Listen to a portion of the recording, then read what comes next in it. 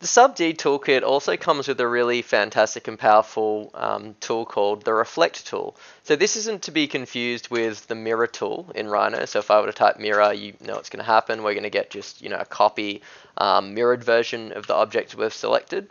The Reflect tool actually reflects our SubD geometry along an axis, deletes half of the geometry, um, and then joins it together with its reflection. And I'll demonstrate this live with my subdivide squashed object over here. So I'm going to just pull my squash geometry over to the side here. Um, and I'm going to give it a slight rotation of negative 30 degrees like this. And what I'm trying to do is I'm trying to hover it over the top of this y-axis because I'm going to use the y-axis as my reflection plane. I might try and get it so it's just poking, this um, edge here is just poking ahead of that y-axis, uh, just like that there. Um, so I'm going to come up to my sub-D Tools toolbar and I'm going to find the Reflect sub-D object um, component here. So I'm going to click on that guy it's going to ask me to apply this to a sub D component, which will be this one here. And then we'll get the option to draw our own reflection plane, which you can do by clicking and drawing um, in a direction. I find it a lot easier to control if I'm just using one of the axes. In this case, I'm using the green or the y-axis. So I'm going to click on y-axis, um, and that'll serve as our reflection plane here.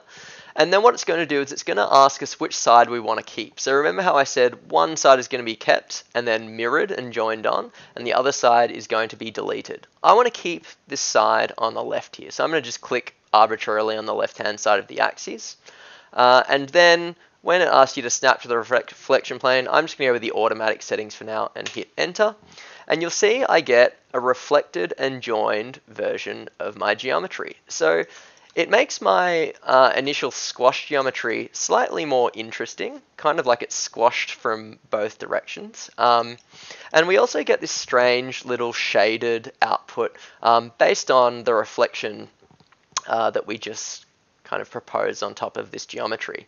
Whenever you see this shaded reflection occurring after you've done a reflection on your SubD component, make sure that you're aware that this means that a reflection is still applied to the object. So what that means is if I manipulate any part of this geometry, say if I shift control click onto one of these faces and I move that out, it's going to have the same effect on this side here, which is not always what you want. Sometimes it's really great because it means that we can do um, reflective transformations that might be relevant uh, to the modeling exercise we're doing, but sometimes you might just want to edit this side of the component.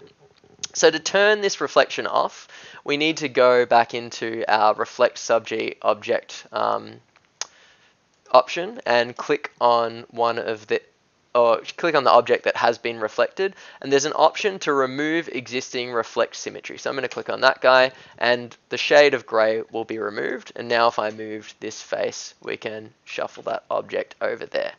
So I'm pretty happy with this squash geometry. So I'm going to um, move these guys to the side and then we're going to start looking at how we might go ahead and model up a ribbed geometry.